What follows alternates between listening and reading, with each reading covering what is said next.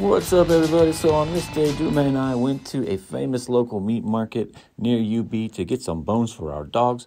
We walked around trying to find the bones we wanted, but we weren't having any luck until a young guy saw us struggling from across the street and came over and asked us what we were looking for. We told him, and he led us to his friends.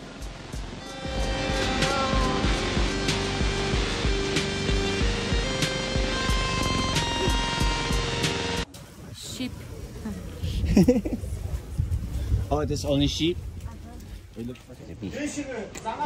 Big bones. Big bones. I'm big boned. I'm not fat.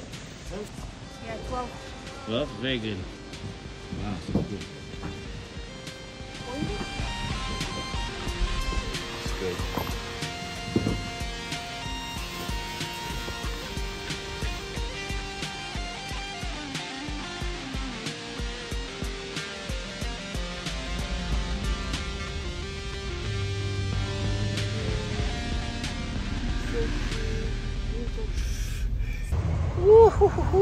What a day shopping in Mongolia. We're just down here. Now we hit the Nomin. We were up at the plant store and at the meat market. And we got some all our my our loot behind us, but I'm waiting for my ride, so we'll see what happens. This neighborhood is actually this part is really it's really crowded down here. Super crowded at the meat market too today, so the weekend.